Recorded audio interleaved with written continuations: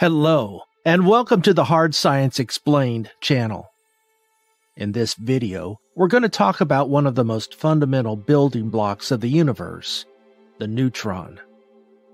The neutron is a neutral subatomic particle that is a constituent of every atomic nucleus, except for ordinary hydrogen. The neutron was discovered in 1932 by James Chadwick, who was awarded the Nobel Prize in Physics in 1935 for this discovery. Chadwick was working at the Cavendish Laboratory at the University of Cambridge in England. He used a device called a scattering chamber to bombard a beryllium target with alpha particles, helium nuclei, and observed that a small amount of high energy radiation was emitted.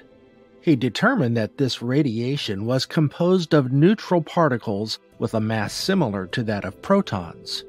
He named these particles neutrons. Chadwick's discovery of the neutron provided a crucial missing piece in our understanding of atomic nucleus and opened up new possibilities for nuclear physics research. Let's talk about the properties of the neutron. It has no electric charge and a rest mass that is slightly greater than that of the proton, but 1,838 times greater than that of the electron. Protons and neutrons, commonly known as nucleons, are bound together in the dense inner core of an atom, the nucleus, where they account for 99.9% of the atom's mass. Neutrons are essential to the stability of atomic nuclei. The protons in the nucleus are positively charged and tend to repel each other due to the electromagnetic force. However, the much stronger nuclear force holds the protons and neutrons together. Within the nucleus itself, the protons and neutrons are tightly packed. We refer to them as nucleons. You can imagine this as a stack of fruit at the supermarket like apples and oranges mixed together, representing the two types of particles. Collectively, the particles are called nucleons because they have many similar physical characteristics, including about the same size and mass. Nucleons have a diameter of 1.7 Fermis, so a large nucleus, such as the core of a uranium 238 atom, with 238 nucleons, has a diameter of about 15 Fermis.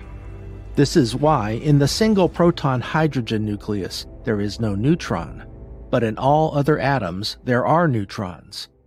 Hydrogen is made up of a single electron and proton, and the neutron is optional. However, if we look at any other element, there will be a neutron present. Neutrons, often considered as the less exciting counterparts of protons, possess a plethora of fascinating characteristics that are often overlooked the neutron plays a crucial role in the production of nuclear power. In the decade after the neutron was discovered by James Chadwick in 1932, neutrons were used to induce many different types of nuclear transmutations.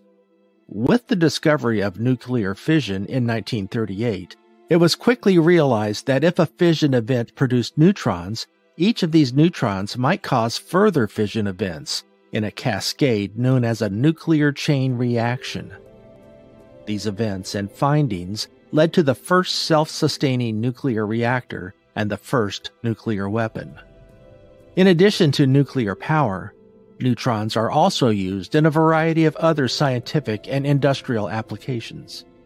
For example, they are used in neutron scattering experiments, which allow scientists to study the structure of materials at the atomic level. And in the field of medicine, neutron beams are used to treat cancer. Neutrons also play a crucial role in the natural world. They are produced copiously in nuclear fission and fusion, and they are a primary contributor to the nucleosynthesis of chemical elements within stars through fission, fusion, and neutron capture processes. It's important to note that in the 20th century, high energy particle physics revealed that neither the neutron nor the proton is a true elementary particle. Instead, they are composites of extremely small elementary particles called quarks. The neutron is composed of two down quarks, each with one third of an elementary charge, and one up quark, with two thirds of an elementary charge. The nucleus is bound together by the residual effect of the strong force, a fundamental interaction that governs the behavior of the quarks that make up the individual protons and neutrons. This strong force is what holds the nucleus together, which is incredibly important as it gives atoms their stability and structure. Please watch our other videos about quarks and gluons and other nucleons to get a full picture of the fundamental structure of reality.